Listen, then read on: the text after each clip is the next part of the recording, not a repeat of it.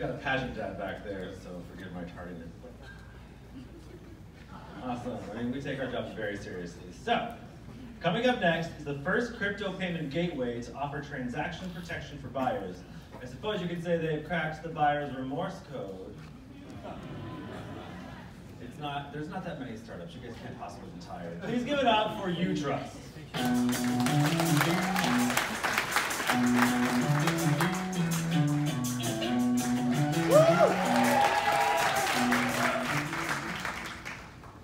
The future of money is digital.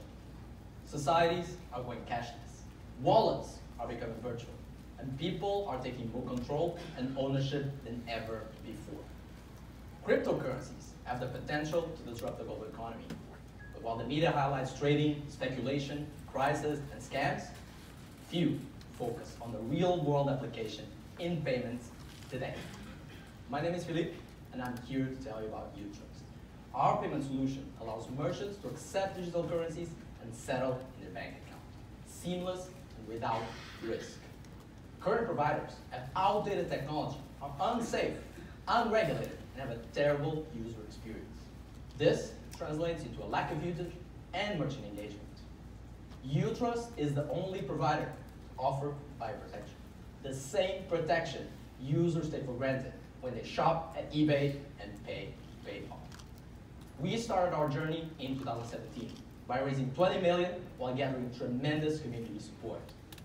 Today, our partnerships enable reach almost 800,000 merchants and 20 million users worldwide. We have grown to near 50 employees, developed a full platform on the final stages of beta testing, and are on track to be regulated to operate worldwide. This year, we are launching with our first partners and expanding our merchant pool into new geographies, North America and Asia. And growth is the next milestone. But reaching a global market and mainstream adoption requires great partners. We are seeking financial institutions, PSPs, and merchants to accelerate the growth and adoption of our technology. So check us out at utrust.com or come and have a chat. Discover how we make digital payments simple. Thank you.